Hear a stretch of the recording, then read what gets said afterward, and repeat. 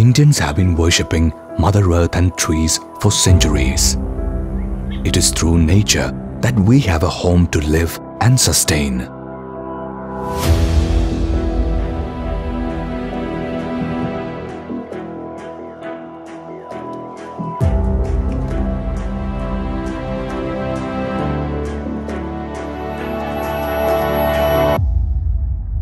Kudremukha is famous among the peaks of Western Ghats in Karnataka because of its biological abundance.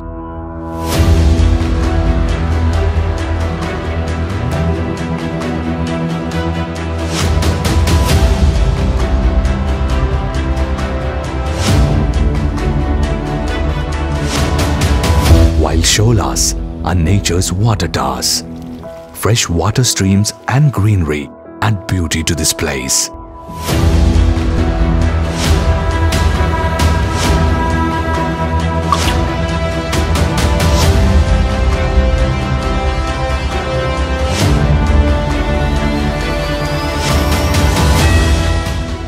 Kudremukha, home to these vast shola forests, have faced certain nature and man-made problems, which has created its own havoc. Kudremukha Wildlife Division of Karnataka Forest Department has taken specific steps to tackle each and every problem.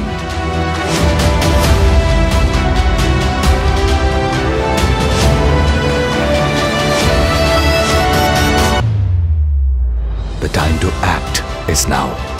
This documentary is an effort to showcase the importance of Shola forests of Kudremukha and the need for their conservation. Arise, awake and stop not until the goal is reached. It is the duty of every citizen to join hands with the Karnataka Forest Department in their efforts to conserve Shola and its habitat since its conservation is the need of the hour.